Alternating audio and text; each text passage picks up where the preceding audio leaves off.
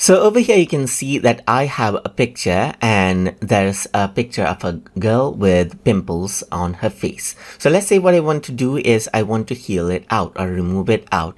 And in that case what you can do is you can utilize the healing tool. So to do that you can uh, go around and click and hold on the clone tool um, button right here. And over here you can see that healing is an option. So what healing allows you to do is it allows you to take a sample. Let's say for example let me take the sample of the clear skin right here.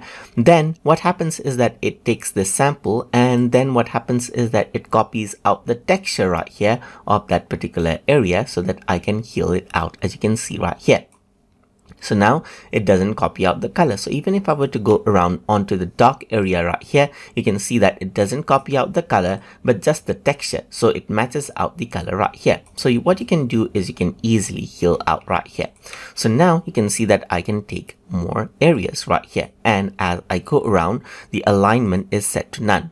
But I can go around and set to aligned as well. So now wherever I take, let's say for example, a sample, what happens is that as I click, you can see that the alignment area right here, the sample area moves along as well, even if I were to let go of the mouse. So you can go around and move this out over here, just like this. And now you can see that I can simply clear out the pimple right here. But if I were to go around, you can see that it copies out the texture right here, just like this. So now I just want to make sure that I copy the texture that I want. Apart from that, you can also go around and see registered. So if I were to go around and click right here, then it is in the registration mode right here, uh, which is for registering the sample. Then you got fixed as you can see right here, which actually uses a particular area as a brush. So I can go around and then utilize it as a brush as you can see to go around and cover up the thing right here just like this. Let me just go around and press Ctrl Z right here just like this and this is what you have.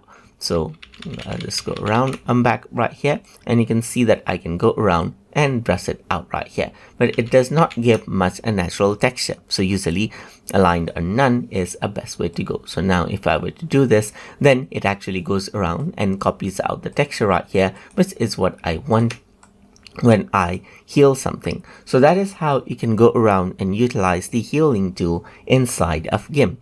So hope you guys learned something as always. And as always, please like, comment, share, and subscribe.